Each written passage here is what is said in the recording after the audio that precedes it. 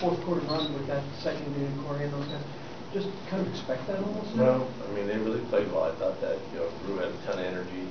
Trev was out running the wings. Pablo was pushing it. Um, I thought Josh Smith got a couple big blocks at the rim that really um, ignited some stuff. And, you know, for the most part, we were able to um, do a decent job on the boards.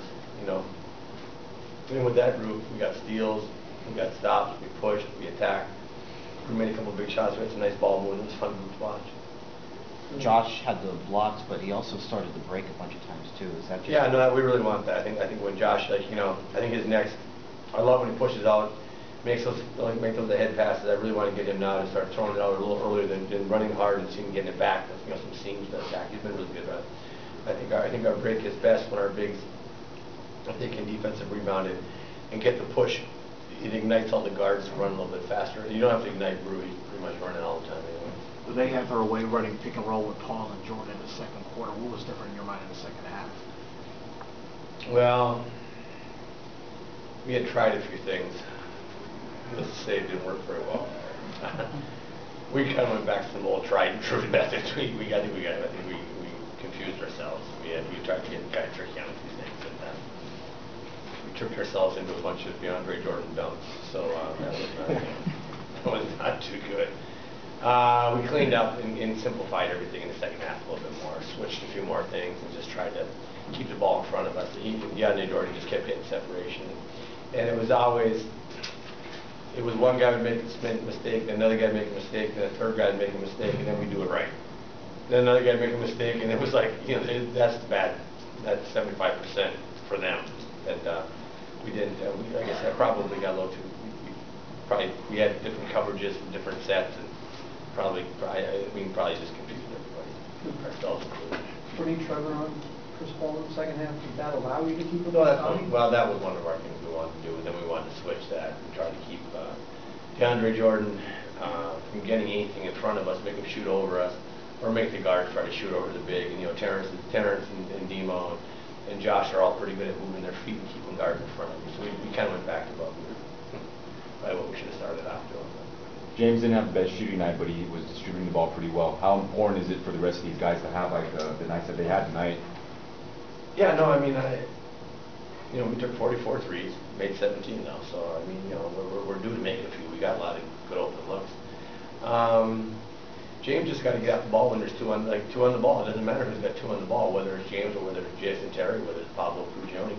There's two on the ball, get off. And that, and they put two on the ball, and he got off it. I think that at times that doesn't allow you as an offensive guy maybe to get into a big rhythm because your shots are coming sporadically, but that's the way to play, play the game. And, you know, he had 10 assists tonight, and we did a pretty good job. I thought we, we held it a few times and tried to stretch it, but every time we just got off the ball, got the ball in the middle, that's how we got all those open threes. We got the ball in the middle, the big drove, took one dribble.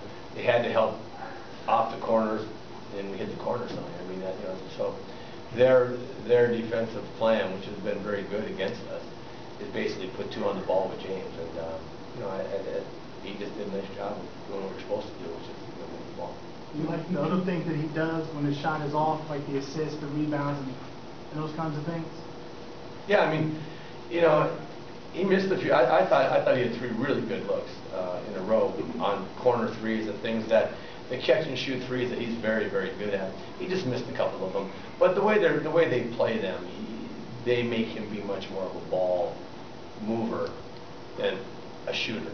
And I thought we moved the ball pretty well. Uh, I thought there were times we got sticky again. I thought there were times we tried where we try to stretch something to see if they if, if they're if their scheme's going to break down, and I keep on telling them it's not going to break down, they're staying on until you get off the ball. When we got off the ball, again, like I said, the four, you know, three can't guard four, so we moved it, and that's why we were able to get, I thought of the 44 threes we had tonight, there were very few I thought that were really contested. I thought we had really good looks. When you talked to him after he turned his ankle, what was his reaction? What was that conversation? I just asked him if he was good to go. I said, you, you know, are you good to go? You ready to keep on going? He said. So I said, all right, no, lace him up and let's go. You know, I, at that point, I he looked like he looked like he sprained it pretty bad. Just thought visually looking at it, and I thought, oh, you know, he might not be able to come back from this one. But um, very, he's, he's really a tough kid. I mean, you know, he's, he's a tough young man.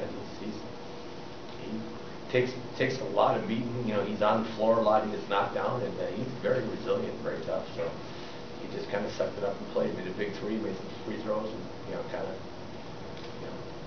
home. Realize it's one game, but you beat them for the first time in a long time. Does it mean anything to you at this stage? Sorry? Does it mean anything to you at this stage? Yeah, I mean, we couldn't beat them. you know, I mean, it feels a lot, hell of a lot better getting beat by them. I mean, they were just beating the tar out of us, I mean, we had a heck of a time beating those guys. Uh, We had a heck of a time staying in the game with them, to be truthful. I mean, we were getting blown out a lot of those games, so it feels good to go out there. And I think, you know, we just played them a week ago, or whatever, I should say, we played them four or five games ago, instead of being a month ago with the All-Star break. But, um, you know, we, we looked at a lot of stuff, looked at film yesterday, and normally I don't get into too much of, um, let's just prepare to beat this team. Normally, we're like, this team will stress this part of our, we kind of work on our, our team, our game all the time, but we really worked hard the last couple of days on just what it takes to beat the Los Angeles Clippers, and, and uh, they've had our number, it was good to get that win. Thank you. Thank you.